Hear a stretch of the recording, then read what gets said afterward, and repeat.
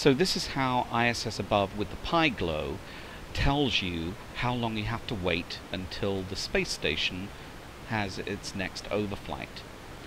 I want you to count the number of times the blue LEDs flash from now. One, two, three, four, five, six, seven, eight, nine.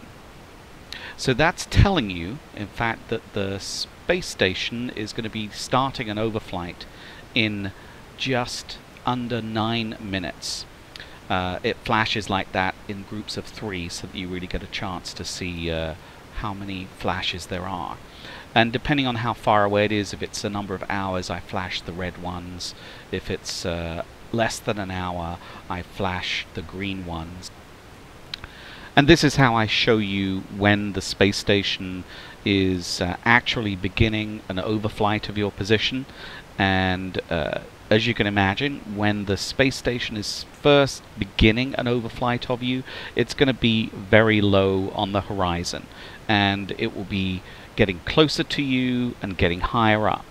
Now the way I indicate that with the Pi-Glow is I initially start flashing these LEDs very slowly and then as the space station uh, gets closer to you and gets higher in the sky uh, then the LEDs I start flashing them and changing them a lot more rapidly.